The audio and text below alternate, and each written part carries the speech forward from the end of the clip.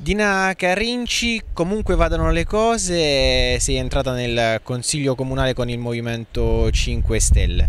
L'esperienza che abbiamo potuto vivere in questi giorni è stata magnifica.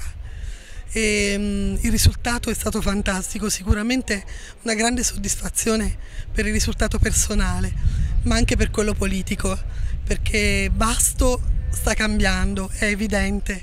Il movimento ha avuto il 20% del, dei voti e questo è un segnale estremamente positivo.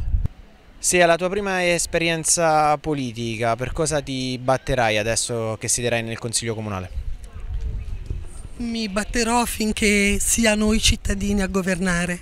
Questo è quello che mi preme di più. Noi dobbiamo ascoltarli sempre, e dobbiamo ascoltare le loro istanze e soprattutto le loro necessità.